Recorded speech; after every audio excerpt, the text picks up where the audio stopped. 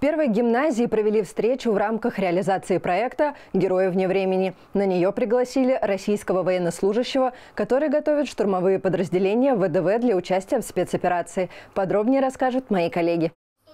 Встречу провели в музее, посвященном боевому пути 9-й гвардейской воздушно-десантной дивизии. Ее бойцы участвовали в Курской битве, освобождали Черниговщину и Полтавщину. Спустя почти 80 лет российским бойцам снова приходится освобождать Украину от нацистов. Сегодня на встречу с молодежью и люберецкими депутатами пришел ветеран боевых действий и десантник Андрей Лобанов. В армии служил в Забайкале, десантно-штурмовой бригаде.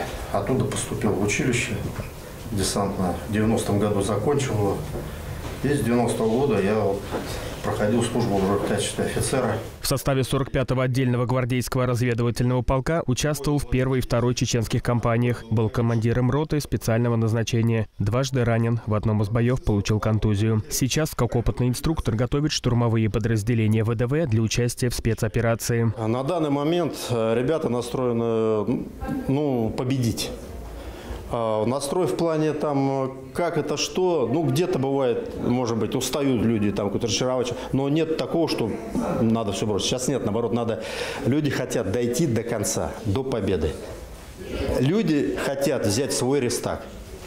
Он где-то у нас там впереди. Андрей Лобанов приехал на побывку домой. В Люберцах его ждет любимая семья, жена и двое маленьких детей. После окончания отпуска он снова вернется в зону боевых действий. Богдан Колесников, Сергей Гвоздев, телеканал ЛРТ.